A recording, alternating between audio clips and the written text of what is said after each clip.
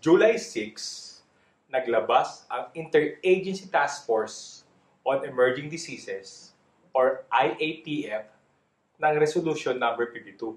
Karamihan sa laban ng Resolution Number 52 ay patungkol sa turismo. Kaya naman mahalagang malaman kung ano ang mga laman ng Resolution Number 52 tungkol sa tourism. Simulan natin. Number one, the Subtechnical Working Group of Foreign Nationals shall be reconstituted to Subtechnical Working Group on Travel. Number two, the suspension of non-essential travel by Filipinos is hereby lifted. All travel restrictions relative to outbound travel of Filipinos are likewise lifted. Number three, the non-essential travel of Filipinos shall be subject to the following conditions. First, submission of confirmed round-trip tickets for traveling on tourist visas.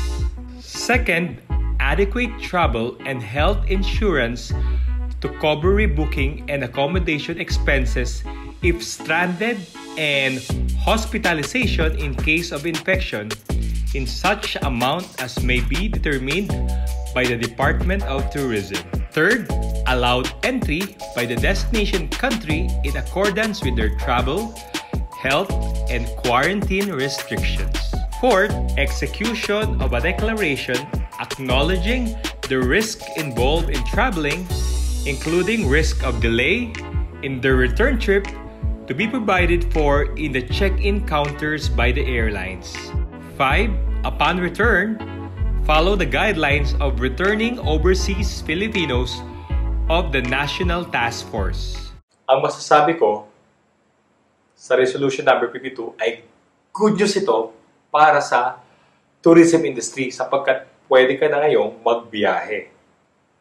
Pangalawa, isa sa nakikita ko sa resolution number 52, hindi pa rin dadami ang babiyahe papalabas ng ating bansa or sa ibang mga lugar sapagkat napakahirap magbiyahe. Una, napakamahal niya.